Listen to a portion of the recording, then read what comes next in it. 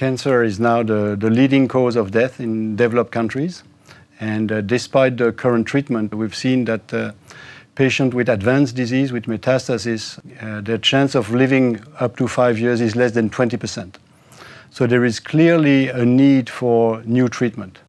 And um, our research group at the University Hospital in Geneva, in collaboration with, uh, with Maxivax, has developed a, a unique strategy to try to educate and amplify the immune system in order to uh, recognize and destroy cancer cells.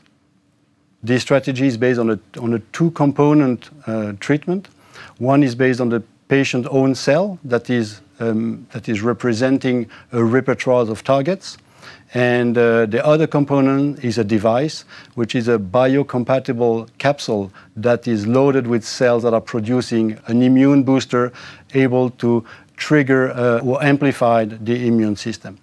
This cell encapsulation technology, this device, is critical to allow the release at the site of the immunization to um, have uh, the local release. It is sustained, it is uh, durable, and it is stable for many days. The implantation of the capsule is not painful. It does not constitute a burden to the patient. It actually allows patients to have a normal lifestyle while maintaining their treatment. The device is easy to manufacture, is scalable, it can be stored and shipped easily across different hospitals without complex logistics. The training of the clinical staff is also very straightforward. Long term, we plan to have two manufacturing facilities, one in Europe, one in the US, and those two facilities will help to serve patients across the world. We're very grateful to CTI for the support we received as it allowed us to accelerate the development of our technology.